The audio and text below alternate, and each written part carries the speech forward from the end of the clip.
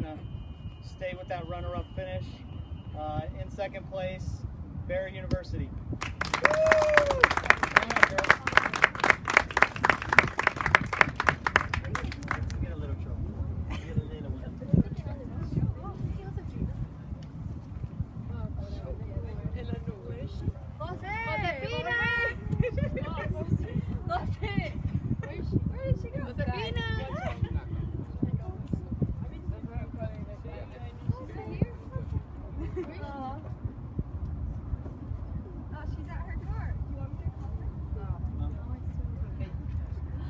So first of all, talk about rallying to, to win this tournament individually. Um, it was very fun since it was our home tournament. It was especially fun. So um, yeah, I came here with no expectations really, or some expectations, but I didn't really think that I would win.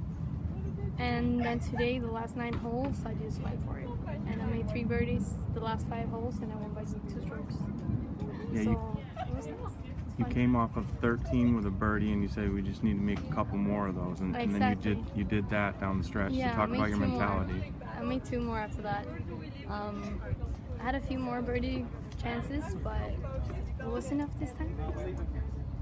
You set a school record with uh, most wins in a season. This is your third victory this year. So, what's your thoughts on that, and what does that mean to you?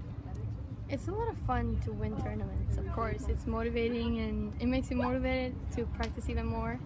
And it's just fun to beat records, I guess. At the same time, you guys finished second. I know you really want to win your own tournament. So, uh, how much motivation does this give you moving forward the rest of this season, but then your last two years at your home tournament? um, it gives me more motivation, of course. Um, I did everything I could, I mean, we're we're really a good team. We just have our days that, like, when everyone's not playing great, and of course, everyone has those days.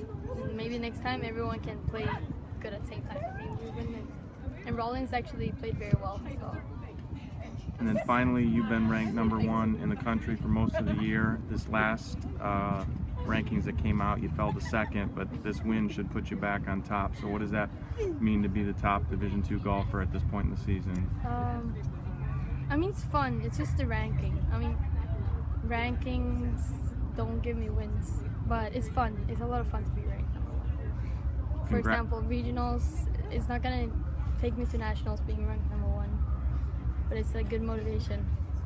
Okay. Well, congrats on a great day, and uh, good luck the rest of the season. Thank you very much.